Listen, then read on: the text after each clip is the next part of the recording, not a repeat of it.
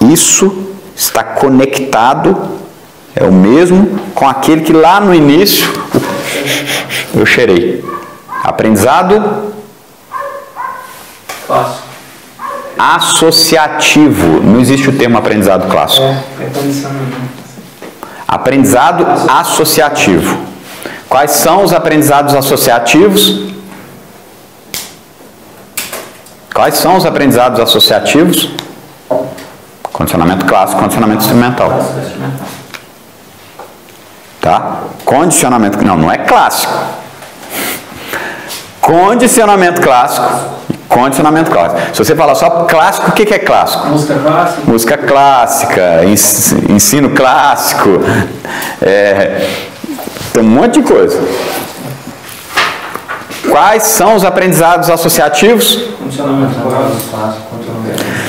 Quando um cão cheira um odor, gravou esse odor, opa, esse aqui, e agora eu vou procurar aquele odor, especificamente agora tratando daquele Bloodhound que está procurando aquela pessoa perdida.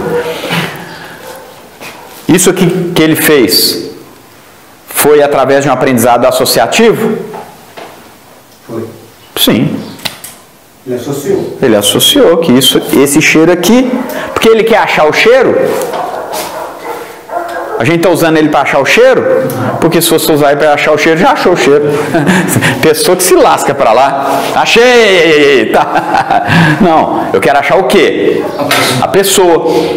Só que ele conectou que esse cheiro é daquela pessoa. Então é um aprendizado associativo? Sim. Quais são os aprendizados associativos? Tá. Agora, nesse processo de execução desse trabalho, que passa pelo aprendizado associativo, qual o condicionamento que é utilizado? Começa pelo clássico. Mas quais os condicionamentos presentes? Ou qual o condicionamento presente? Tem clássico e tem instrumental. Porque se ele cheira. Clássico. Se ele procura, localize yes, tem instrumental e tem clássico. Porque o localizar é instrumental, mas a emoção, o prazer na localização é emocional. Então não tem, não tem separação das duas coisas. Não tem separação. Vo- volta e meia eu vejo discussão na internet. Quando você faz um cão sentar por modelagem, é condicionamento clássico ou condicionamento instrumental? Os dois. Outro dia eu vi uma discussão sem fim nos grupos de WhatsApp. Não, e quando você induz o cão a sentar assim, é condicionamento clássico ou condicionamento instrumental? Os dois. Ele estava falando, quando induz a sentar assim, é clássico. E quando é modelagem, é instrumental. Aí mostra a completa incompreensão. Decora-se, decorei, que Pavlov era. Mas não entende. Se a gente não entender que quando eu induzo o cão a sentar, o ato de encostar a bunda no chão para receber a comida é o quê? Instrumental. Mas a emoção relacionada à comida é o quê? É clássico.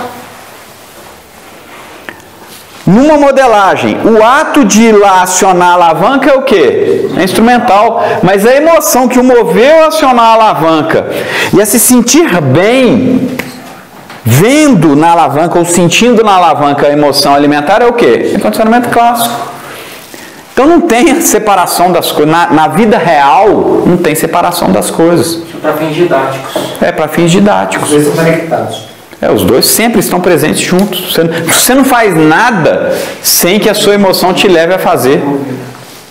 E se a pessoa vai, vai estudar só lendo, ela acha que é separado. Que É. Um e aquele ali É. é. o outro. Então, beleza. De- deu para ter uma noção disso aqui?